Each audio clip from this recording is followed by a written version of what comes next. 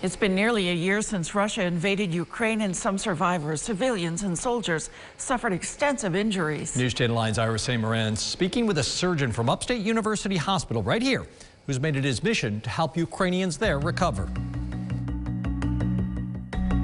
For 10 months, buildings reduced to rubble has been the reality in Ukraine. People there dealing with wounds you can't see and those you can. They were hit in the face with a bullet or a piece of shrapnel or some some other projectile, and that um, tears up the soft tissue of the face. There's functional glands in the face, uh, the nerve that moves the face. It tears up the bones.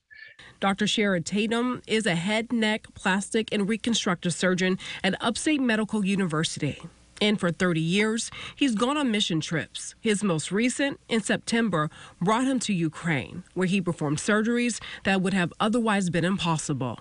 They've lost their homes, their friends, and family. Uh, so, uh, any help we can give them uh, is, is a useful thing to do. He was there for eight days with the group face to face. They were far west and had an escape plan if needed. Uh, we didn't see any uh, any signs of active warfare at the time. As he reflects on his time there, Tatum wants everyone to know, despite the physical and emotional trauma, Ukrainians are brave, resilient, and generous. The soldiers, to every single one, the first question after we talked about surgery was how quickly they could get back to the front lines. And these are guys that had uh, were missing an eye and you know had some very major injuries. His team's job was to help Ukrainians recover as best they could. Mission accomplished.